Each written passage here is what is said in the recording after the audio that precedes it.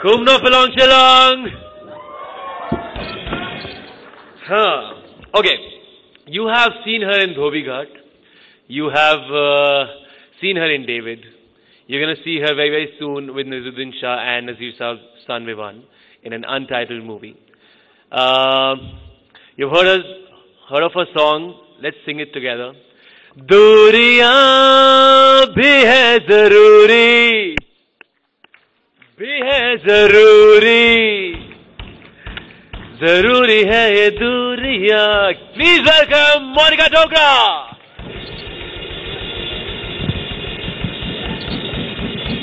So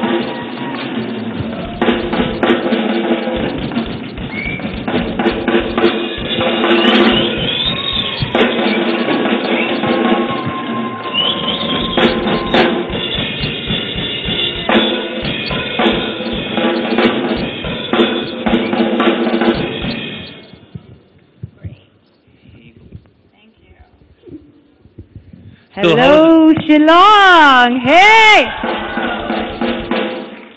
Uh, so how's the drive from Guwahati to Shillong? Not bad at all. Not yeah? bad. Is Yeah. it the first time you're coming to Shillong? No, I've been here many times. hmm Yeah. Okay. I'm freezing though, but Yeah? now I'm warm because I see all of you. Okay. This part of the country, Monica, is Yes.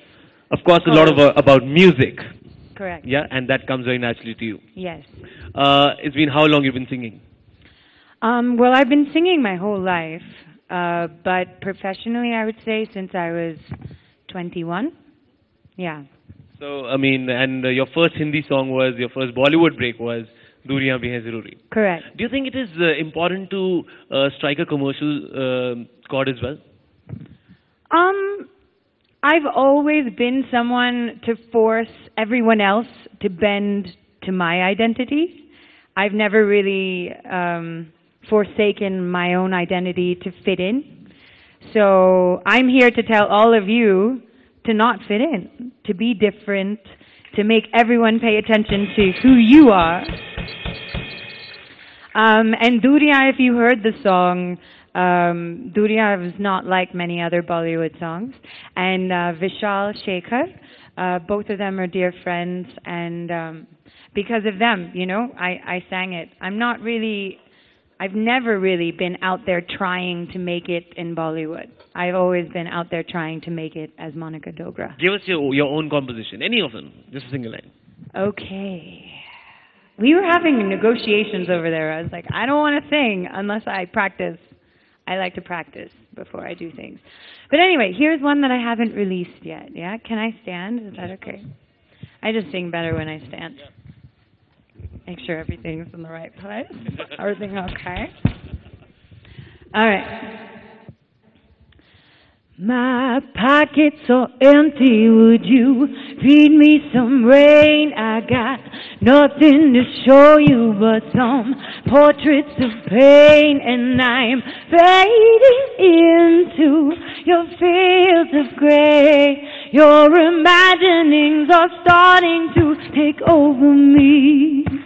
If I wanted to touch you, would you start backing away? I drink more than I ought to, so I got courage to stay. And I am fading into your fields of gray. Your imaginings are starting to take over me. You're taking over me.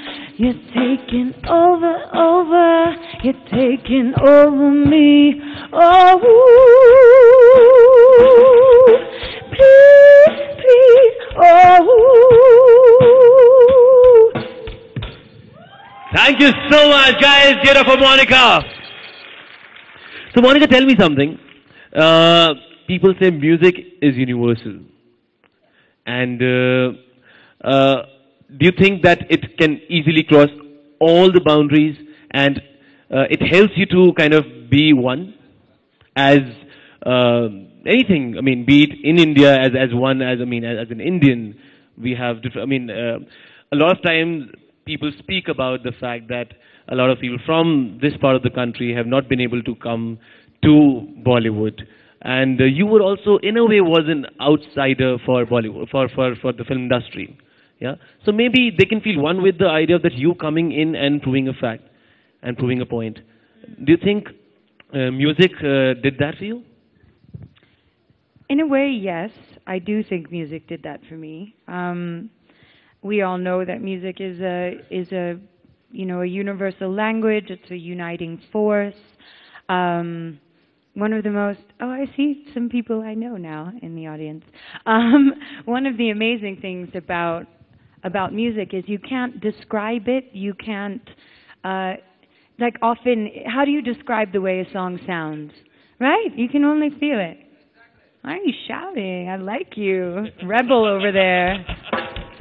Tell me more about what you think. I met this guy outside. I was like, uh, he was like, when is Monica coming? I was like, around 4:35. Yeah. He says, just tell her that I have a crush on her. When oh, it's okay, dude. I love you too. Um, but yeah, you know when when you're in the studio and you're describing a bass line, you're like, I want it to sound thick and I want it to sound, you know, wrenching, and you use all these words that have nothing to do with sound. I'm talking though. Am I allowed? No. You want to? Okay. That's true. That is very true. Do you think that helps a lot in uh, forming a relationship as well? Okay, back in the day, I had a girlfriend. Yeah. She was in Delhi, then she shifted to Shillong. That it became she long distance relationship. Sorry for the bad one. So do you Uncle think it helps out Joke. in? Yay, Uncle Joke. do you think it helps in? I mean, um, uh, in building up a relationship as well? Do, do, do, does the music get them together? Does music develop relationships? I mean, uh, let's say I'm talking about. Does I mean, uh, क्या love ज़्यादा गहरा हो जाता है प्यार? Yeah, I think so. I think, see, you know, studies have shown that music, sound, vibration creates patterns, right? I've even written a song about it. And if human beings, so uh, do you know about this study? There's a scientist who um, studied certain harmonic frequencies on, on crystalline structures inside of water. And the more beautiful the harmony and the more complex the harmony, the more complex the crystalline structures became. Um, they're all symmetrical. Dissonance causes um, weird patterns, asymmetrical patterns, but harmony creates beautiful patterns. So imagine what that does to a human being if we are how 80% water, 78%. We're yeah, we're a lot of water. So imagine what that does to us. So even on a spiritual on a spiritual level, we're changing our bodies by listening to music, by creating sound, by speaking to each other gently, by not screaming. I mean, everything is vibration. The whole you know, the whole universe is vibration. So yes, to answer your question, I do think that you can fall in love more easily with sound. Okay, coming to acting. Yes. It's been how long you've been acting? I've been acting since I was five years old, making up plays, being an idiot with my neighbors. Okay. Yeah, I've always loved the power of play. Okay. Uh, you know, And as we see that your Hindi is not a strong point. how do you Yeah. see that? I mean, uh, I was talking to you, you were like, okay, I'm more comfortable with English. Yeah, because I can't get poetic in Hindi, but You I think in English? Speak, I think in English. I grew up in America. I mean, yeah. so, I mean, how do you then justify, I mean, um, uh, of course, you want to make it big uh, further ahead in Bollywood. Don't you think that's a barrier? See, I don't. that might just help these guys who are who maybe who who are who are aspiring actors. I mean, uh, in this part of the country, their Hindi is also not very. I mean, amazing. Okay, so if they want to come and be a part of the industry, they might just uh, have to uh, f- maybe face the same uh, problem which you might have faced back in the day. I think I had a whole speech ready to inspire you about this identity thing.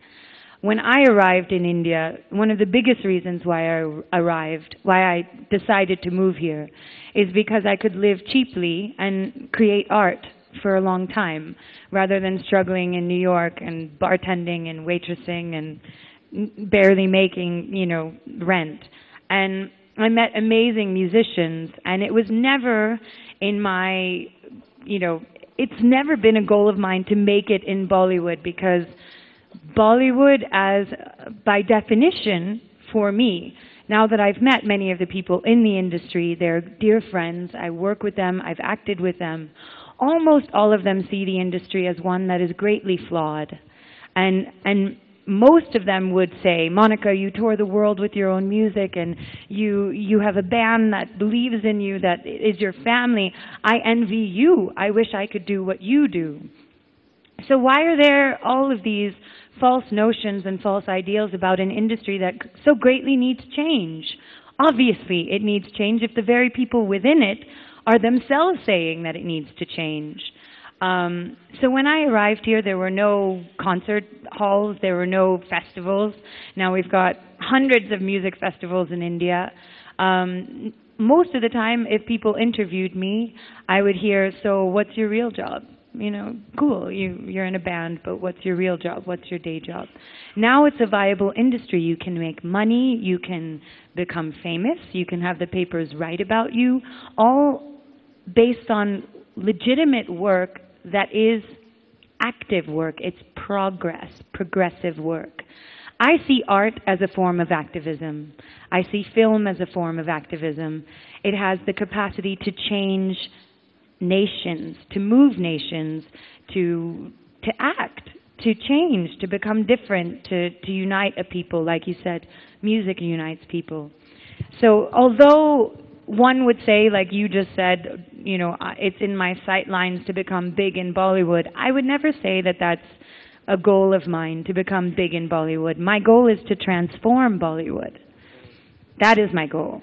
And as long as I'm here and as long as I'm alive and I have a voice and I've got talent and I've got things to offer, I will be contributing to change within an industry that I feel so greatly needs it. Okay. Monica, tell me something. Let's have. I I was thinking of having little language classes. Not for you. Not for you. Okay. Uh, I was thinking ki uh, the language they speak is called Khasi. I know. Yeah. How many of you can speak Khasi? Of course, all of you, yeah? Okay. Uh, you दे या आपको बहुत मन है mic पकड़ने का? जरा बोल के दिखाओ खांसी में कि तुम नहीं समझोगे अंजलि कुछ कुछ होता है। तुम नहीं समझोगे कि कुछ कुछ होता है दैट्स हिंदी राइट खांसी में। हाँ, हाँ, ही बोल रहे हैं हाँ। नो इन खांसी will be come I film सोथो या का ने?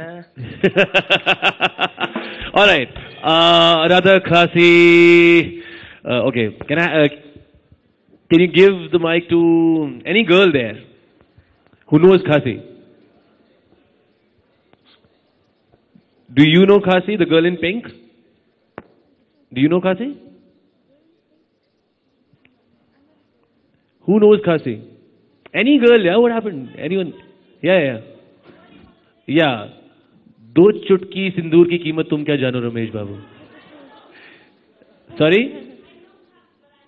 Oh, you, oh that's a problem. Yeah. okay, somebody who knows Hindi and Khasi both. Hey. Yeah, okay. Do chutki sindoor ki kima tum kya jano Ramesh Babu. Let's have a little language. There you go. She's a hero. She's a hero, Shillong, little mama tip. Yeah. Woo, woo, woo. These are the people we need more of. Tips, would you do a Bollywood film? Exactly. Would you do one though if I if I was say I wrote a script and it was amazing and we wanted to make something that changed the world, would you act in that? Yeah. That's almost a yes.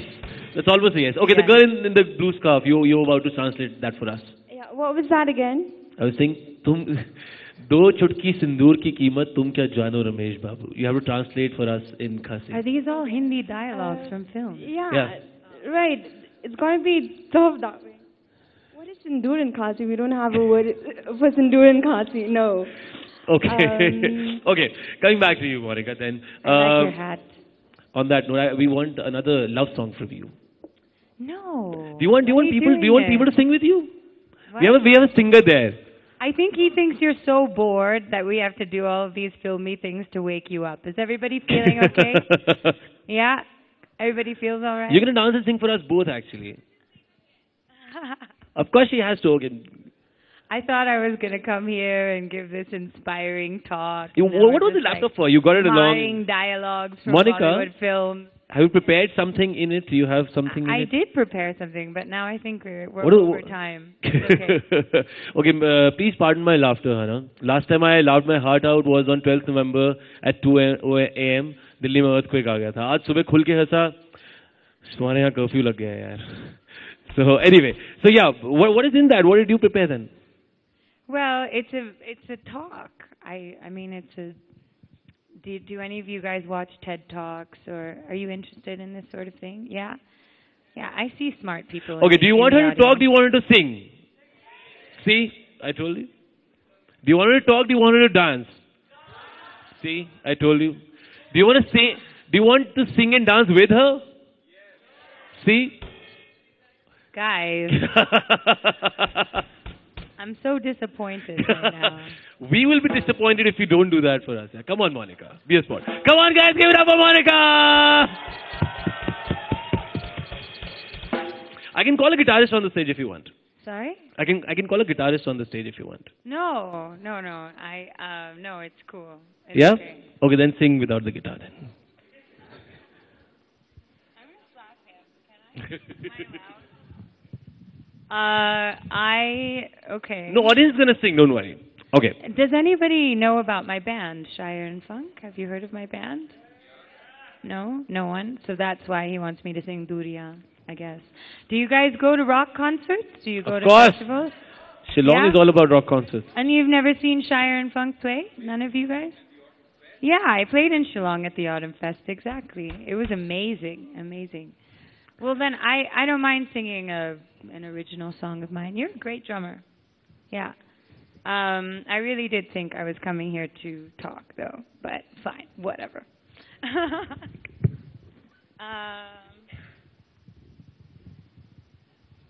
Okay, I'm going to do a spoken word piece. This is the first song I ever wrote, actually, ever in my whole life.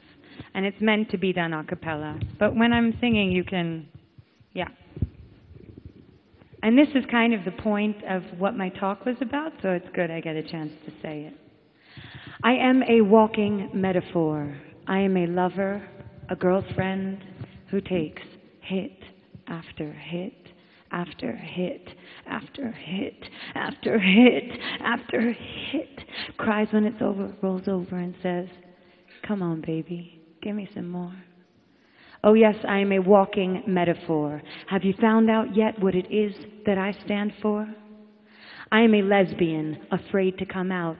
I am a Harvard grad, suffering from intellectual drought. I am consumer friendly and poor.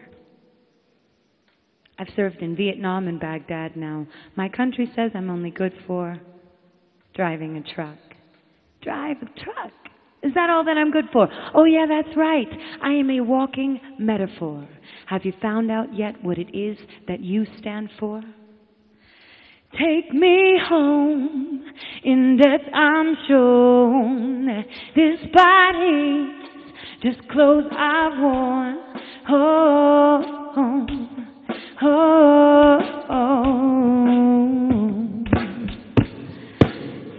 me home, take me home, take me home. Take me home. In death I'm shown that this body just clothes I've worn. Oh,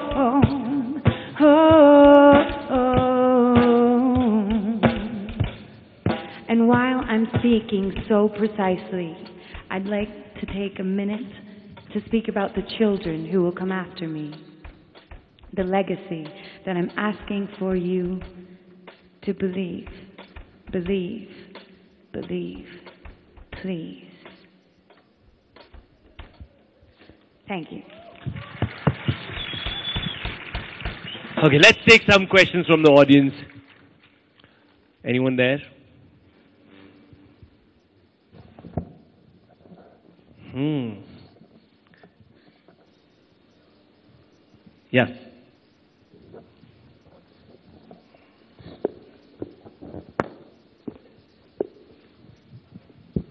That was beautiful, Monica. So, what is it that you stand for, and what are the things that you would like to transform in Bollywood? You said it's an industry that needs transformation desperately. What are the things that you'd like to change? That's such a long, I have such a long answer. Go for it. We all okay, cool. Um, the first thing I, I would love to change is our uh, perception of beauty. Um, the most important one being that women are consistently and constantly objectified and sexualized. And they're meant not to have minds, they're meant not to have voices, and more often than not, they don't. Um, and that's not nice. uh, you you always see these women with identities coming into the industry. Um, identities meaning they look different. They they've got interesting faces. They they're they're bubbling with something. They look unkempt. They, uh, you know, and then slowly but surely, one whitening ad after another, and one injection and one nose job and, and before you know it, they're working more than ever before, actually. So as consumers as well, we have a responsibility to buy into the things that create change, that teach our daughters, that teach our children, that they can look different, that they don't have to be a size zero, they don't have to be white skinned. They're in India, for God's sakes. You know? Uh, that's one thing. Um, another thing is, is if we want song and dance in all of our films, then why don't we actually train in song and dance? That'd be great. because uh, there's some amazing dancers, amazing choreographers. I'd like to see the choreography in, in Bollywood film um, really express the Bharatanatyam Shastra, this amazing thing that has existed long before organized religion. The first form of documented, chronicled art is the Bharatanatyam Shastra, the idea of a total work of art. Um, I think that that would be an amazing change to see a film with great choreography. I mean, of course, we've got some amazing music directors, respect where it's due, and some amazing dances that do come out. But um, if we're going to insert song and dance into each one of our films, then I think we should do it with elan and class.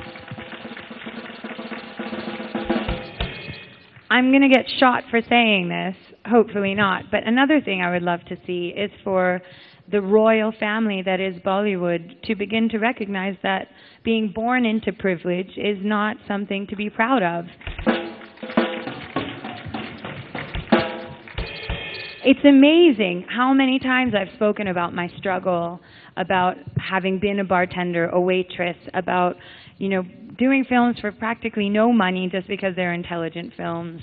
And no one cares to hear about where you come from and your struggle and your story.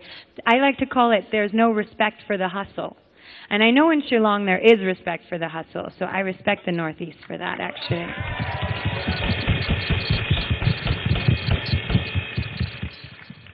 Should I keep going? I should stop. I'm going to look at my sister. Okay, I should stop. There's a question there. Can can you please um, pass on the mic to her?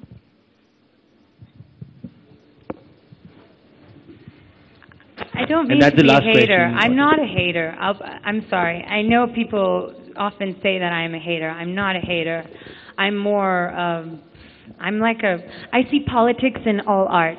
I see art as being political. So. Thanks. Okay, yes, ma'am.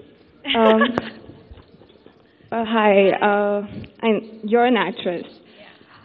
I just wanted to know how you feel about um, Priyanka Chopra sort of playing Mary Kom in uh, the upcoming movie.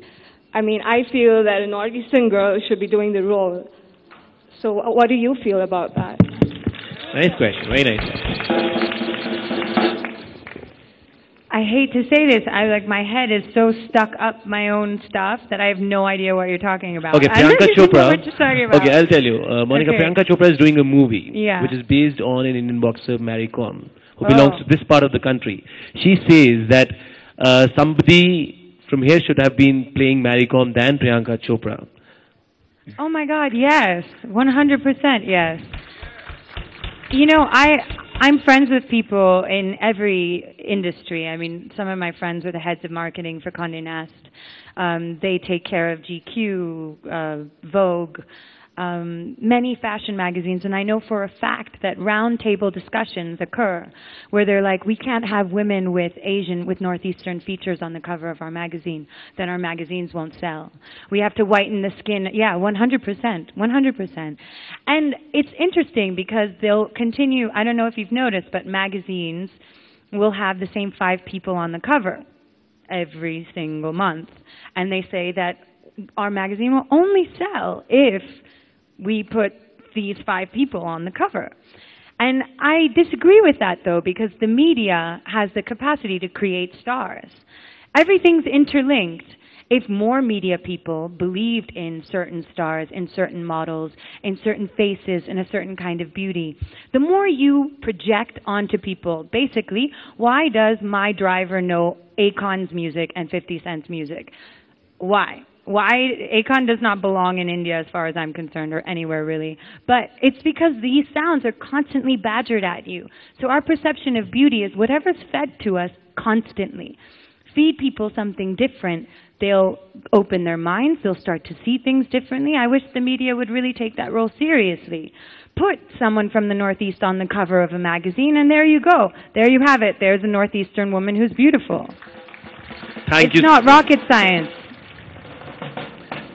I know a lot of media Yep. people are here today. I hope you agree with me. I'm not trying to say you're not doing a good job. It's just, let's take risks, man. Like, why do the same old thing? It's boring. It's really boring. All right. Thank you so much, Monica, for being a part of Youth Summit, Mind Rocks. And, uh,